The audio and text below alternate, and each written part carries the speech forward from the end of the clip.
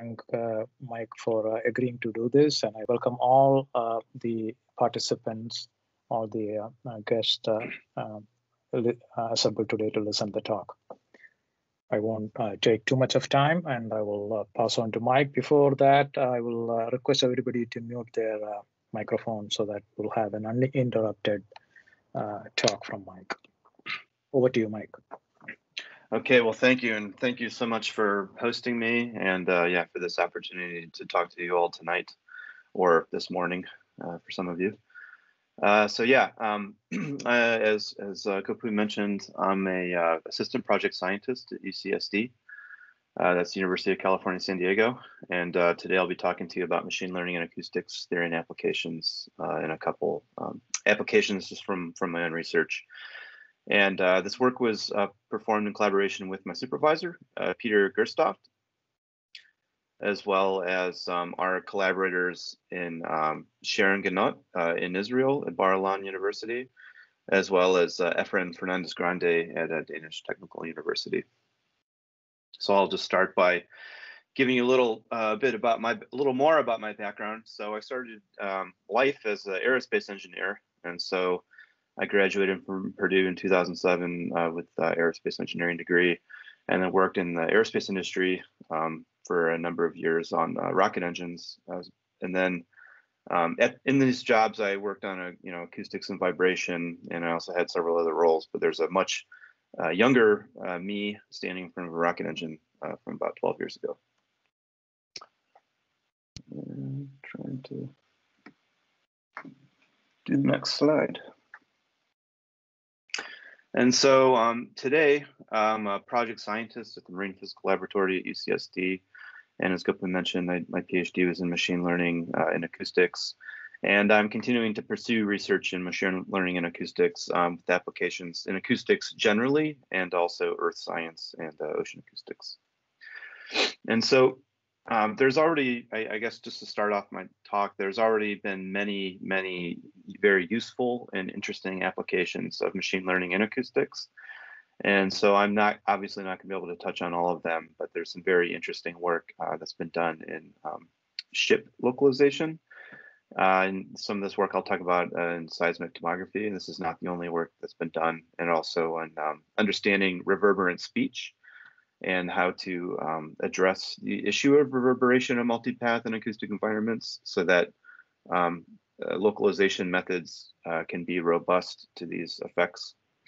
And also uh, in medical tomography, which is uh, very closely related to um, seismic tomography work.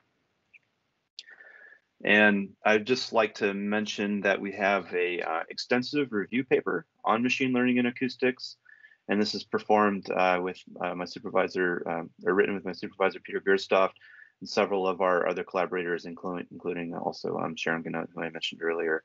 Um, but this is a comprehensive review uh, that has a uh, what I think is a, a, very accessible introduction to machine learning theory, and we also touch heavily on deep learning, and also uh, we talk about um, source localization in a couple different contexts, as well as um, you know important developments in bioacoustics and uh, human perception of sound. So this is actually freely available online, and here's the DOI, and you can just find it by Googling this, this title too.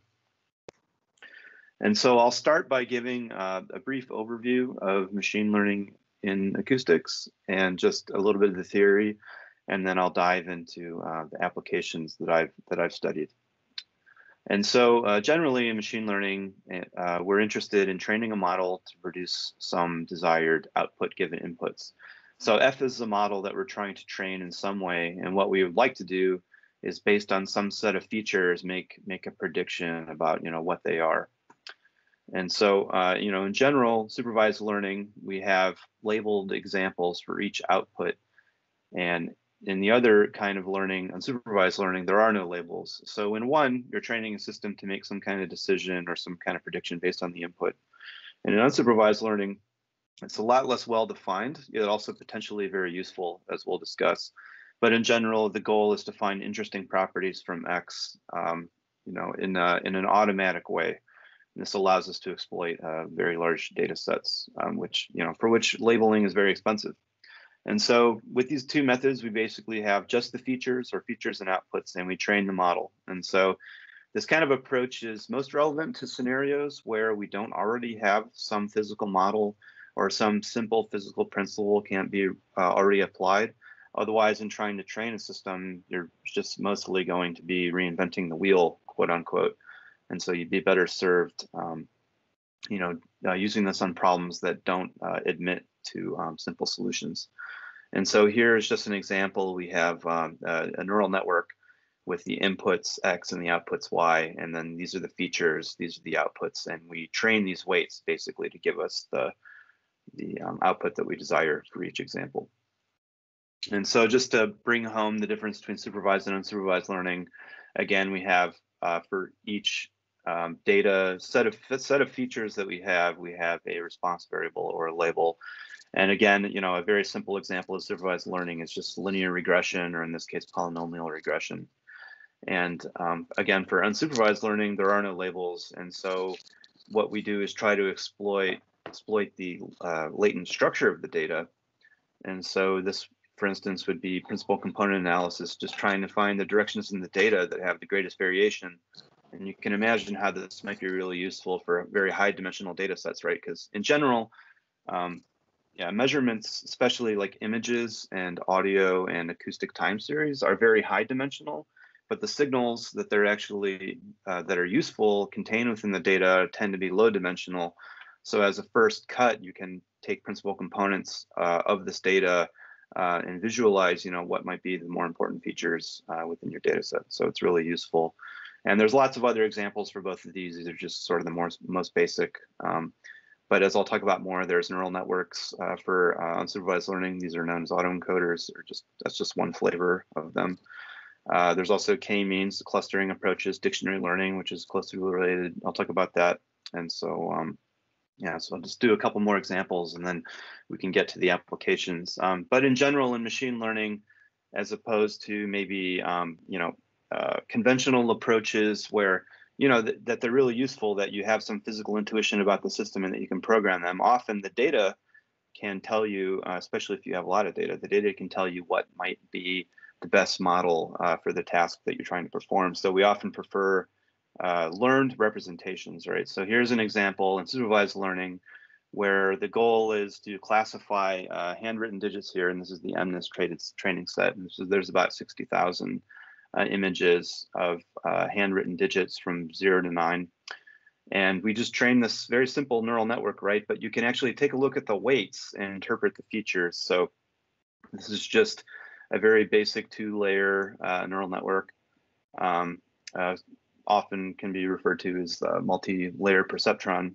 And so this has been trained on this corpus of images, right? And if we take a look at just the weights for activating each each of the hidden layer units, we can see that these are, you know, if you kind of squint, you can see that these are little pieces of numbers, right? So this is the high level representation that the system thought was important for classifying, uh, ultimately classifying the data. So these would be higher level features, and then these would be uh, lower level uh, features.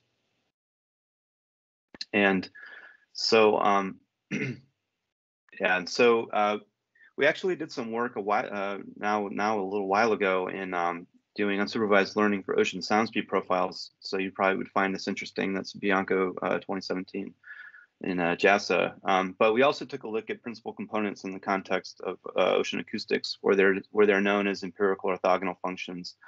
And so again, this is just a case where we're trying to learn representation, right? And so here's kind of a nice canonical example of uh, so a lot of a lot of uh, uh, people are interested in classifying uh, people's faces, right? But what are the most descriptive features of the faces? Well, one way that you can think about it is, uh, you know, what are the largest sources of variance in all these images? And so that is actually contained by performing principal component analysis on the faces, right? And so you can see the top 36 eigenvectors of, obtained from the faces contain most of the variation and if we zoom out and look at the top 100, right, uh, you start to get more and more and more noise, right? We can see the same to be true in terms of ocean sound speed profiles. So these were measurements obtained off the coast of San Diego in uh, Point Loma.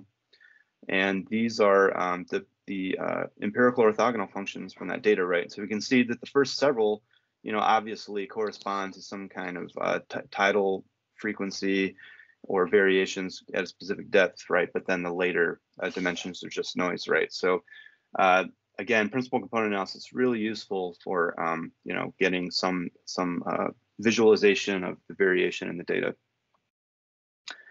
And so now I'm going to talk a little bit about clustering. So this is closely related, right? So how uh, can we use um, clustering to um, solve image processing tasks, right? So if you take a look at an image, um, little pieces of the image called patches actually represent uh, high dimensional vectors, in this case, 8 by 8 patch.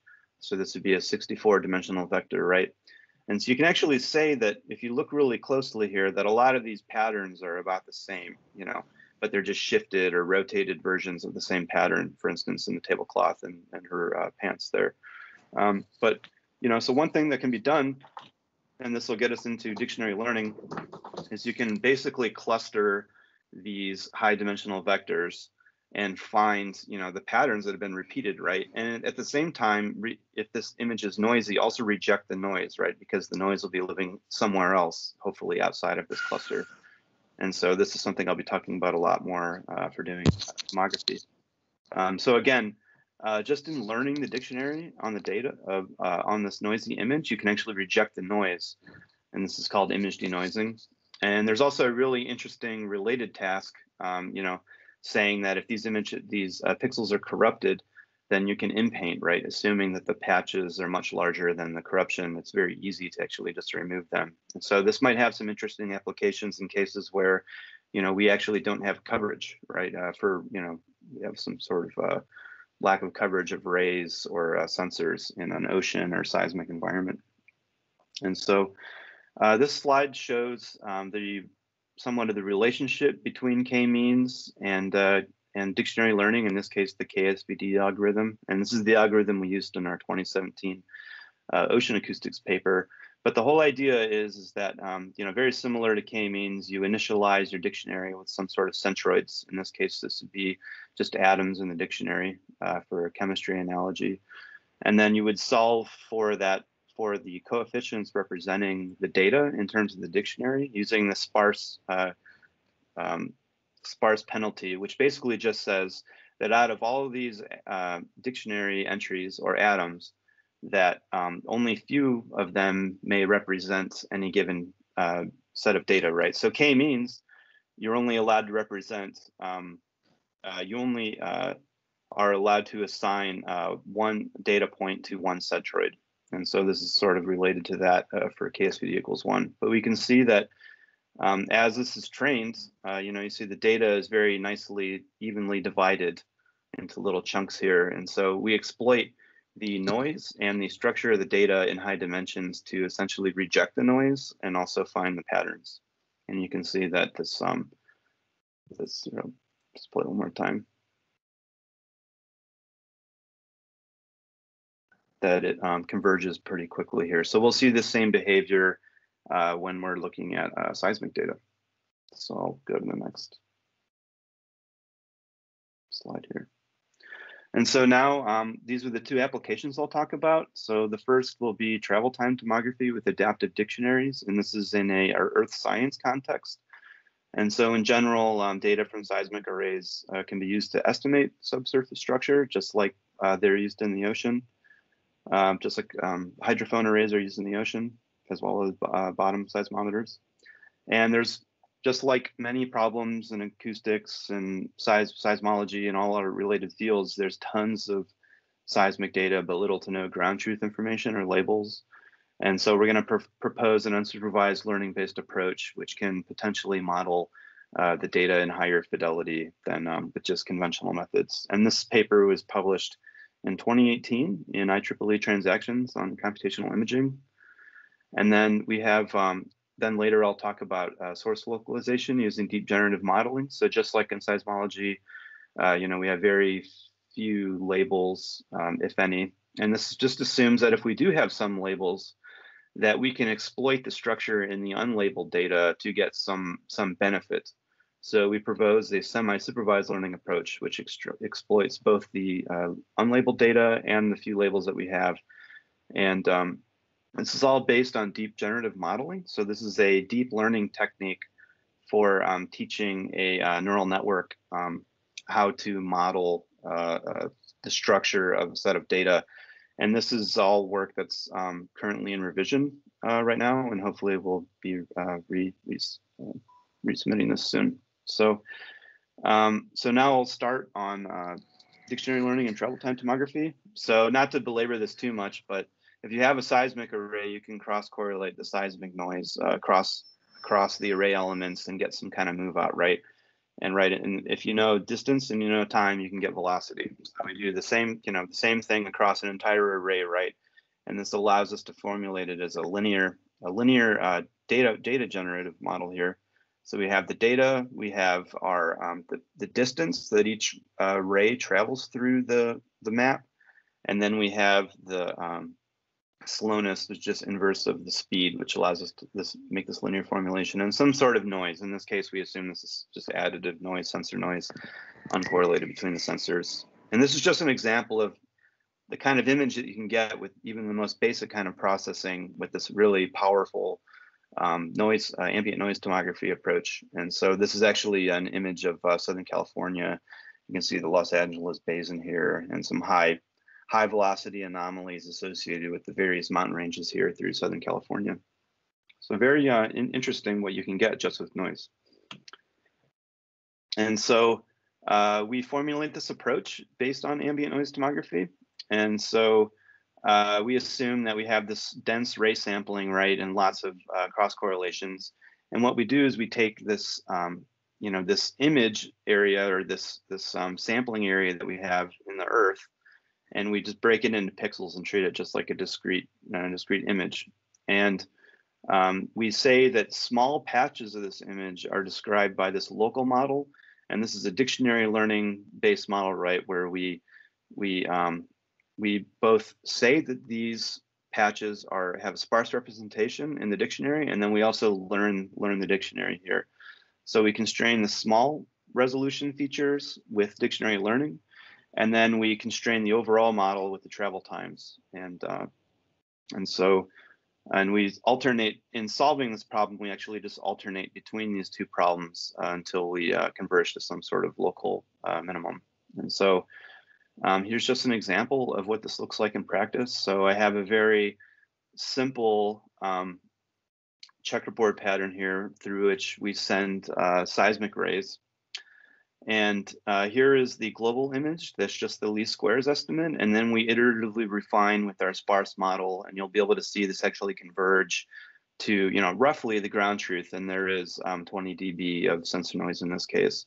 And we'll also, what we'll also see is this learned dictionary will also converge, and you'll see it look like little pieces of a checkerboard pattern.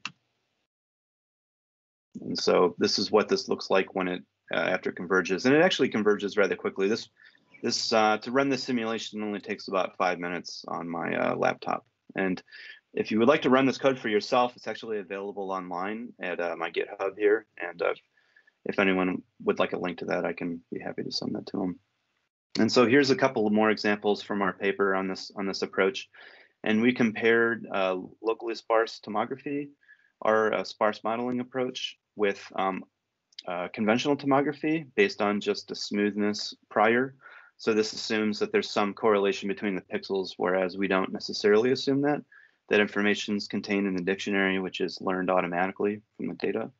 And here we have, uh, we can use the method with prescribed dictionaries, such as Haar wavelets or the discrete cosine transform, but we get much better performance with uh, dictionary learning here, as you can see. So, and the reconstruction error is shown in the lower right-hand corner.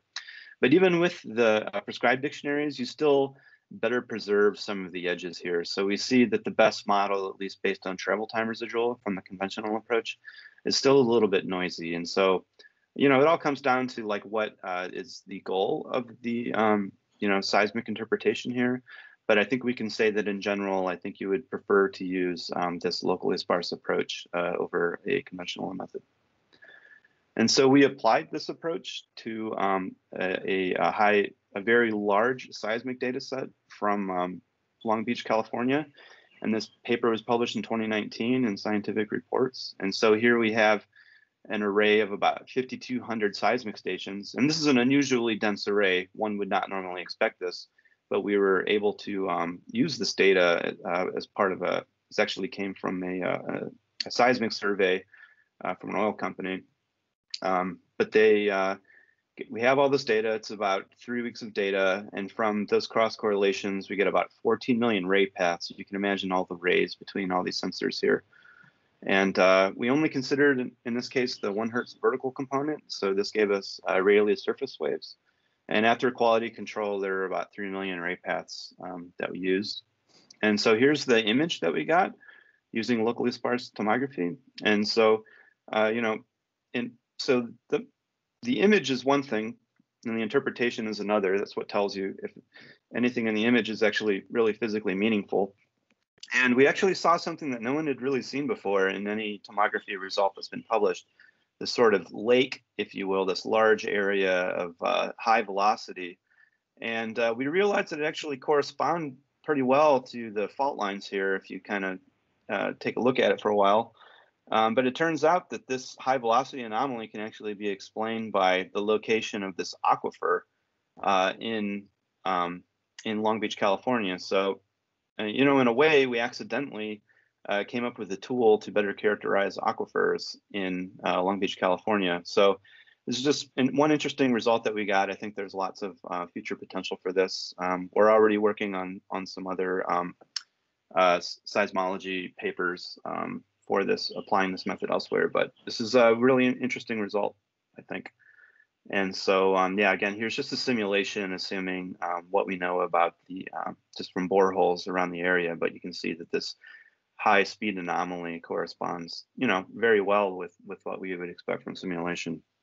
And so now I'll diverge just a little bit and uh, talk about autoencoders and then talk about deep generative modeling and variational autoencoders. And so I just talked about dictionary learning. And so autoencoders are actually a neural network analogy uh, to dictionary learning and PCA. So um, they're basically just neural networks that are designed to approximate their input. So they're kind of deceptively simple, right? But the whole idea is, is that since this lower, this uh, latent representation that you're learning is much lower dimensional than your input and your output here, that in order to accurately reproduce the output, these weights must learn something useful about the data. And so we can exploit that for a number of purposes. Um, so, uh, and, and, as I'll explain, autoencoders with linear activation functions are, are, are very similar to PCA and dictionary learning. Um, but where neural networks get a lot of their power is all in these nonlinear activations at the uh, hidden units here. And these are what really drive the increase in representational power and generalization capabilities um, for uh, neural networks. And so uh, just a basic linear autoencoder, all it really is is just a, a, series of, of matrix transformations from the input to the output, right? And if you try to solve this, this actually just has a closed form solution uh, from linear regression. And so uh, if we just take a look at what this thing's actually learning, so here's an example with a sinusoid uh, with noise, and we just take a little look at little snippets of this data, uh, 400, 400 samples in length. Uh, we can actually see if we hold um, each one of these, so we train this on the sinusoids here, or on this noisy sinusoid. And if we just activate each one of these hidden units after training and see what the output is, it gives you these, you know, basically the components of the sinusoids that you had together. So in a way, this with this very simple model, you're actually able to like unmix the signal. And so this is what we might expect to get with uh, PCA. However, uh, when you add these nonlinearities, this is where you get the real uh, representational power of the neural networks. And so in this case, nice a nice simple but very useful example is is just denoising speech, right? So here you have these complex spectrograms of speech, noisy speech. You train an autoencoder to reproduce the the noiseless speech, and you're able to recover uh, very well um, the true the the uh, true signal here. And so now I'll take a one step deeper and now talk about deep generative modeling. And you might be wondering what autoencoders have to do with this, and I'll get that to that in a second. Um, but in acoustics and many fields, many related fields, there's lots and lots of data, but very few labels. And so since we have lots and lots of data, one thing you can do is train a neural network to uh, learn how to generate the samples of the data. So just like an autoencoder, you're teaching it how to recreate the input. You can actually just teach a decoder how to model uh, fake samples here. So here I have a generative adversarial network set up, which is a very popular uh, and powerful example of uh, deep generative modeling. And so uh, to kind of motivate this a little bit, if you take a look at all these faces here that have been generated, like none of these people actually exist. So this these are obtained uh, from the output of, of this um, uh, generative adversarial network, just sampling over this latent space, right? And so you know, the whole idea is by learning to generate the data, you're hopefully encoding very useful features about the data that might be uh, useful for some kind of downstream task. And so I'll get to that in a second. Um, so, uh, but generally, uh, as, as I showed with GANs, you're sampling from this latent space, right? But the question is like, what, uh, you know, can for a given example, can you say like exactly what part of the latent space corresponds best to that example? And so one weakness of the GANs is that they really don't provide a conditional model for the latent space. And so uh, you can infer the latent code that's produced by the sample. And so and so variational autoencoders help to address that in a way by you know, using variational inference to uh, find this mapping, to find this mapping and also generate the data, right? So there's sort of two tasks here. And in performing those two tasks, you actually obtain not only a latent representation, but also a, uh, a very useful generative output.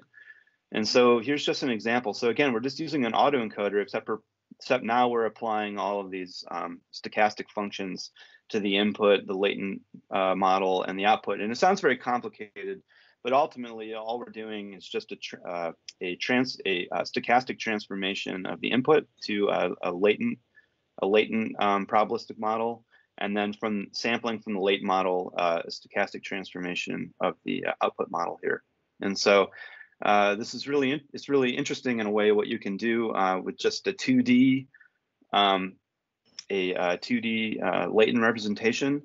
If you have a, a, Gaussian prior on your generative model and a 2D latent representation, you actually end up learning a 2D manifold of MNIST. So again, we're coming back to these handwritten digits. And so when you're sampling from this 2D latent space, you can not only see that they that they uh, some of the digits actually naturally cluster in this somewhat low dimensional space, right? This is just for visualization purposes. Increasing the dimensions would also push the the clusters apart. Um, but but you can see that you know six closely related to zero, closely related related to eight, three, uh, and nine, and then four. So the system is able to automatically learn this. And so this is pretty, we are sort of inspired by this result to try to extend this to source localization. And so the whole idea is we're just going to try to generate this RTF phase, right? So we, so what we're trying to do is we have, uh, for instance, two microphones, and we're trying to get um, the relative transfer function between them, right? And so what the system is going to do is it's going to learn how to generate the relative transfer function, and then it's also going to learn how to estimate the DOA or the direction of arrival of the given source. So this is uh, in the context of room acoustics, uh, but it's uh, very relevant to uh, ocean acoustic and also uh, seismic uh, source localization. And so just to take a step back, we consider these time domain acoustic recordings from two microphones and the RTF is just a very uh, simple estimator here. And we do that for each of FFT frame. And then input to our uh, variational autoencoder is just a sequence of these frames. And so this is uh, work that uh, has already been published in the IEEE uh, workshop on machine learning for signal processing, and that you can find that online. And as I mentioned, we're working on resubmitting this paper um, to IEEE Access. And so, uh, so the in this case, variational inference is used to jointly train these generative and discriminative models. And we assume that this RTF phase sequence that I just introduced is generated by some random process in the latent space, right? Uh, as that's also a function of the source label. So we have our latent space and our source label.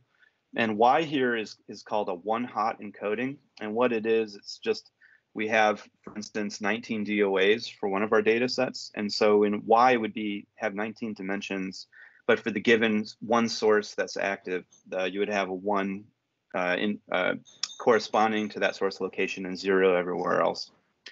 And then we have our, again, our latent representation, and then Y is actually an output of another, another neural network, um, as I'll discuss. And so um, we have, you know, these distributions, right? And they're all parameterized by these neural networks. And so I'll try to explain that here. Um, so in general, learning VAEs, we use variational inference. So we're going to be doing a lot of approximation uh, with with um, distributions uh, that are uh, parameterized by neural networks. So as I mentioned, we assume some generative model for the data. So this is these are our RTF sequences. And we assume uh, that you know this model that we have is an approximation to the true data distribution, this P star. And this uh, model is uh, parameterized by neural networks, meaning here we have this, um, this uh, generative model here, and we assume that um, it's just uh, generated by this truncated Gaussian distribution, where the mean and the variance of the distribution are just outputs of a neural network. So again, this is just a, a stochastic transformation of the neural network output.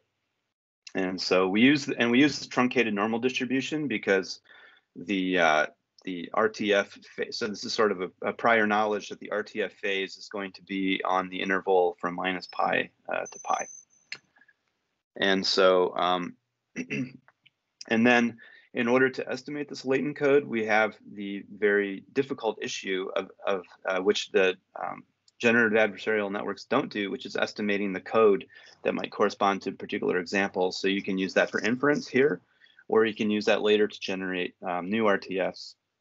And so we have this, um, this approximate distribution here that is parameterized by another set of neural networks here.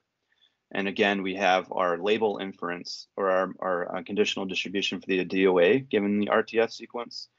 And again, this is just a, you know, in this case, a categorical distribution. So a um, classifier network uh, with, um, you know, just the distribution controlled by this parameter here.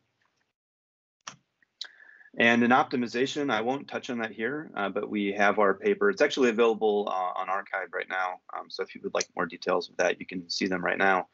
Um, but uh, just just would like to say that the um, that these per, these distributions are basically compared to one another using KL divergence, and then uh, ultimately in all of the optimization that we do, the only thing that we're changing are the parameters of the neural network to effectively adjust these distributions such that they, in this case, fit the data, fit what we think should be the latent distribution and what we think should be the label. And so that's just a basic, basic overview of that. And so as you might have guessed, we actually have three neural networks um, that are used to implement this. And I know this looks really complicated, but at the end of the day, all this is, all these are doing is parameterizing these distributions. And so here we have network A, which is an encoder, network B, which is an encoder, and A is for classification, B is for latent latent inference, and then C is our generative model. So we have some input Y, some output Z, and we can use this to generate uh, new samples of the RTF sequences. And so as it turns out, uh, training the system on both labeled and unlabeled data allows you to perform a lot better um, on a given uh, source localization task than if you just only had access to the labeled examples. And so uh, in order to uh, validate this, we um, actually performed an experiment in, uh, at Danish Technical University. And this was performed by Efren uh, Fernandez Grande, one of our collaborators, and um, Professor uh, Fernandez Grande in June 2020 and this is uh, these are measurements were performed in a classroom with moderate reverberation, but you can see that the the walls have lots of irregular features, which uh, actually gave some really um, nice uh, reflection patterns. And so um, the source range was fixed at one and a half meters, and we had uh, 10 DOA, uh, 10 degree DOA resolution over the over uh, minus 90 to 90, which gave us 10 DOAs. And just to uh, test the system out in room acoustics, we used speech segments. And so we had about 20 speech segments in two to three, two to three seconds in length uh, with activity detection already applied. And then we convolve these with the impulse responses of the room to get our to get our data set.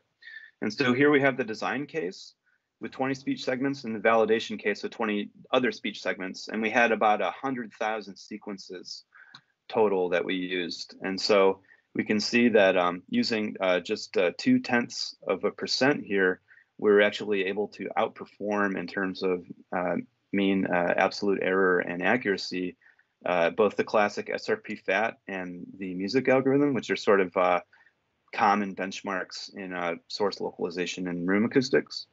And we can see also that um, in the case of fully supervised convolutional neural networks, so in this case, we literally just trained the convolutional neural network with the exact same architecture as this with just different outputs. And uh, we're it was not it basically overfit the label data, right? So the whole issue is, yeah, you have you know these three these 250 labels, right? But like how well can those labels actually generalize generalize to unseen examples? Well, it turns out that actually if you have a ton of unlabeled data, you can actually use semi-supervised learning to exploit that structure in the data and then later use the labels to um, you know give that some sort of physical meaning, right? So we can see that the system it does very well basically from two tenths of a percent and and on. And again, these uh, results are available in arXiv uh, as well.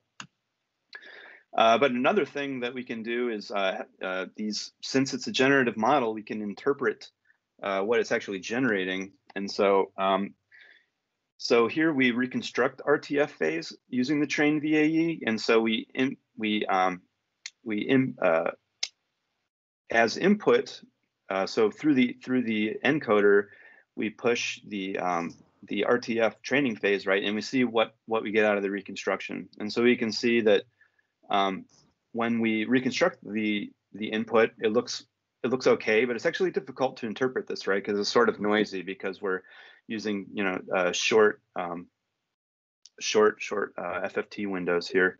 Um, but if we take a look at the mean of the output, so this is the, the mean of the uh, decoder, it actually matches, give or take, roughly the, uh, the free space uh, RTF. So we thought that was really interesting. And we can see that the phase wrap uh, happens almost exactly where you would expect it, right? So the system is learning something physically meaningful uh, about the data. So in a way, this allows us to use not only you know the semi-supervised learning technique, but also sort of keys us into you know what it's learning about, right? So that's interpretability is very important uh, in machine learning.